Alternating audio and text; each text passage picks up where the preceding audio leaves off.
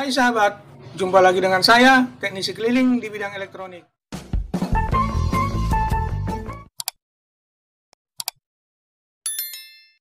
Kita siapkan satu buah gear kipas angin atau sing kipas angin manual. Perhatikan perputarannya jika saya putar dari bawah.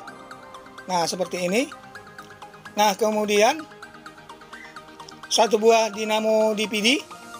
Nah, lihat kabelnya sangat pendek sahabat. Terdiri dari warna merah dan warna hitam. Nah, kemudian kita ambil gear kipas angin ini, kita buat lem di perputarannya tadi. Nah, seperti ini. Kita pakai solder saja sahabat. Nah lihat supaya tidak mengenai samping-sampingnya. Nah setelah lem cair kita masukkan dinamo DPD tadi seperti ini. Perhatikan. Nah kita putar lihat dinamo DPD ikut berputar. Nah kemudian kita tahan dinamo DPD dengan menggunakan lem supaya jika kita putar dari bawah yang berputar hanya as dinamo DPD saja. Dengan demikian dinamo DPD menghasilkan listrik. Nah kita tahan dinamo DPD dengan menggunakan lem bakar sahabat seperti ini. Perhatikan. Dan jika alat ini sudah jadi alat ini sangat berguna sahabat untuk bila mana tiba-tiba mati lampu nah yang mana ini ide luar biasa dan yang pertama di dunia banyak yang tidak tahu membuat alat ini sahabat, padahal alat ini sangat berguna dan mudah cara pembuatannya. Nah, perhatikan apakah dinamo DPD sudah lengket. Jika belum lengket, kita panaskan lagi lemnya dengan menggunakan solder. Nah, kita tunggu lem hingga kering. Nah, saya ganjal dulu. Sambil menunggu lem kering kita ambil lampu LED sahabat. Ini lampu LED 3 volt bekas TV LED. Nah yang mana ada kabel positif dan negatifnya.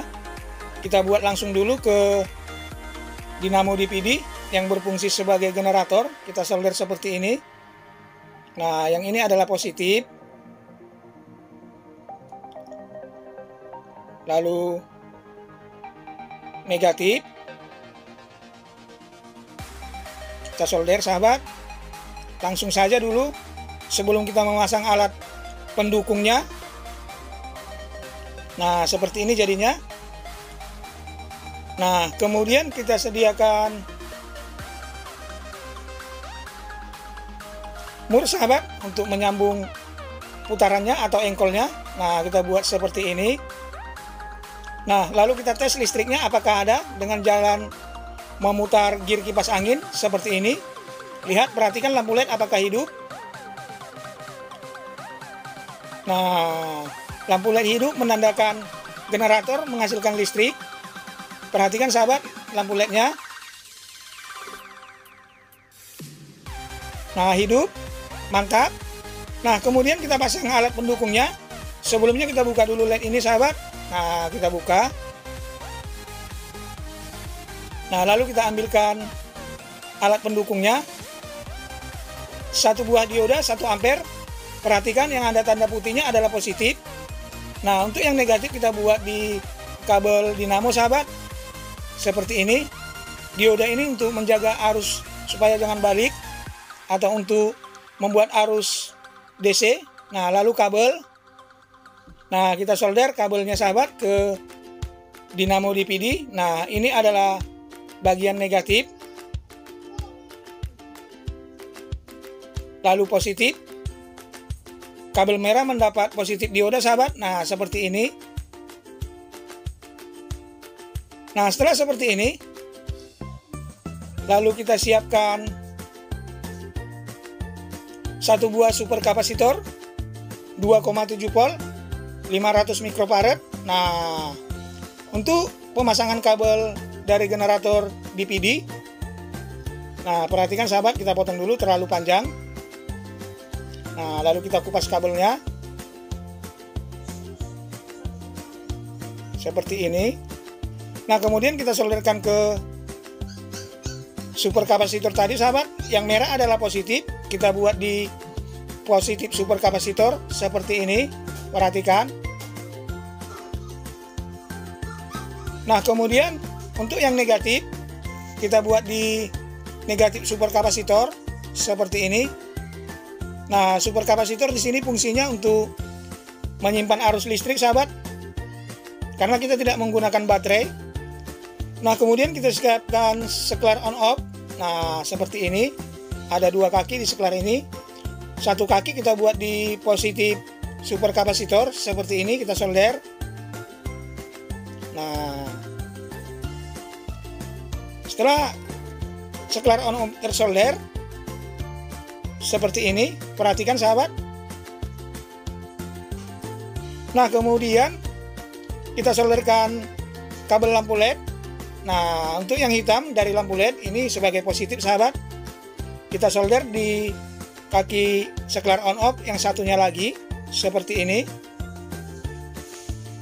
Nah, kemudian untuk yang putih sebagai negatif kita solder ke putih kau super kapasitor ke negatif. Nah, seperti ini. Sudah jadi sahabat. Nah, kita tes dulu lampunya. Nah, tidak hidup menandakan listrik tidak ada di super kapasitor. Nah, lihat tidak hidup. Jika kita on kan. Nah, setelah seperti ini, perhatikan sahabat. Tidak ada baterai di sini. Hanya super kapasitor. Nah, lalu kita tes lampu LED ini apakah sudah hidup dengan menekan on off-nya lihat nah tidak hidup menandakan listrik di kapasitor belum ada karena kita belum isi dari generator dinamo DPD ini atau motor DPD ini nah kita akan isi dulu listriknya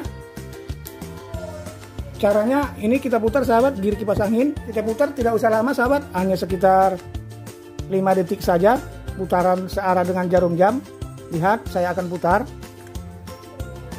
1 2 3 4 5 cukup? Nah kita tes apakah lampu LED bisa hidup dengan mengisi listriknya dari generator ini. Lihat. Nah hidup sahabat saya matikan lampu kamera Nah, hidup lihat. Yang mana tadi tidak hidup? Cukup terang lampunya dan tahan lama.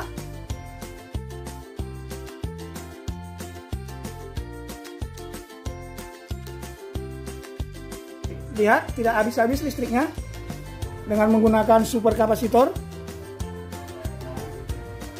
Tahan lama listriknya, sahabat.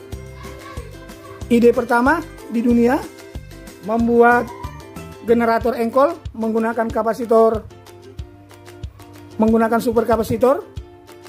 Nah lihat listriknya tahan lama. Tidak ada baterainya.